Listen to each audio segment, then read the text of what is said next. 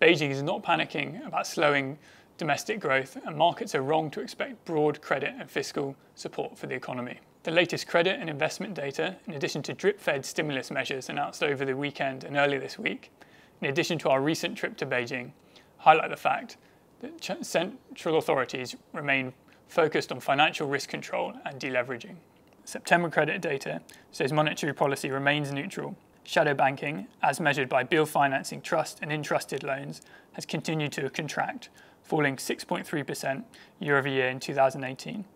In contrast, on balance sheet lending has maintained a moderate level of growth at 12% year over year. We think monetary policy will remain neutral and that given the likely protracted nature of China-US confrontation, Beijing will continue to utilize sustainable support measures that will boost short-term and long-term growth. Given these considerations, we place Beijing's stimulus options in order of preference as first and foremost targeted tax cuts, followed by direct support to research and development and advanced manufacturing. Infrastructure spending will remain a favourite policy choice. However, aggressive credit growth, including non-bank financing and broad-based easing in the property sector, will remain stimulus options of last resort.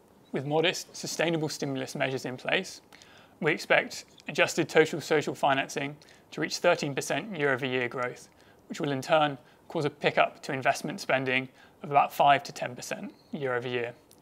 This will enable Q4 GDP to come in just under 6.5%.